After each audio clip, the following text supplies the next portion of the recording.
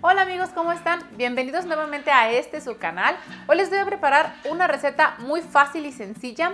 Es un pollito doradito, bien fácil de preparar, delicioso. Yo sé que a todos ustedes les va a encantar esta idea. Así que no se vayan y vamos a ver los ingredientes. Voy a necesitar un kilo y medio de pollo. Todas las piezas yo las tengo partidas por mitad para que me queden pedazos pequeños. 10 dientes de ajo, una cebolla pequeña, una cucharada de orégano seco, 10 pimientas negras y por último sal a su gusto. Bueno amigos, vamos a empezar a cocinar. Primero que vamos a hacer es aquí, yo tengo aproximadamente una taza y media de agua y le voy a agregar la cebolla,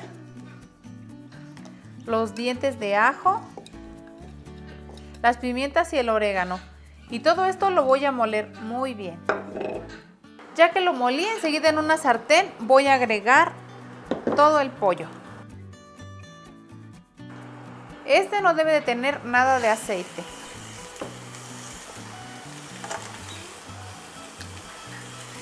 Aquí le voy a agregar sal.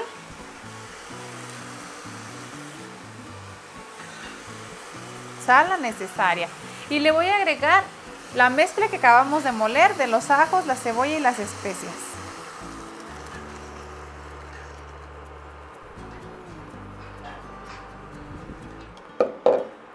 Vamos a mover un poquito para que se acomode el pollo.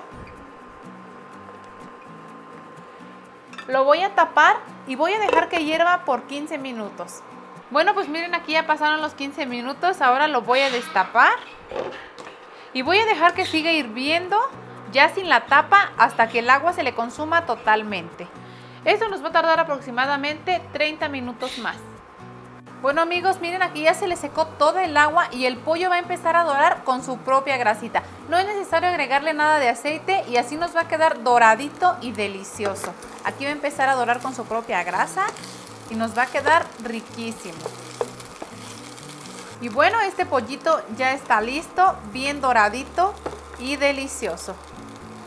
Miren, queda muy bien doradito. Como vieron, no le pusimos aceite. Y ahora está listo para servir. Bueno amigos, y vamos a probarlo a ver qué tal quedó este pollito doradito. Mmm, mmm.